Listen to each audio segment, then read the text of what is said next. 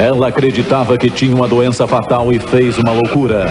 Contratei um homem para me matar. Mas o médico se enganou. Você não tem leucemia. E agora sua cabeça está a prêmio. O assassino quer cumprir o contrato. O que eu estou tentando dizer é que não confie em ninguém. A face do medo, com Ricardo Montalbán. Neste sábado de gala, 10 da noite.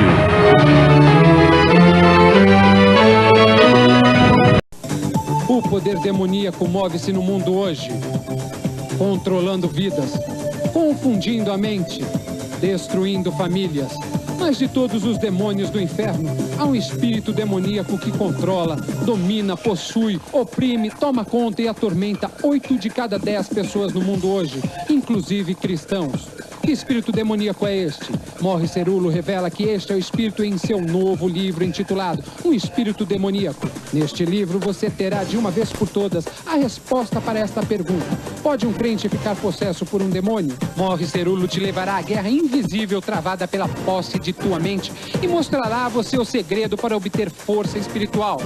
Este livro, Um Espírito Demoníaco, revolucionará a sua vida e te dará vitória como nunca antes um livro lhe ofereceu. E aprenda como destruir aquele espírito demoníaco e viver 100% em vitória para sempre.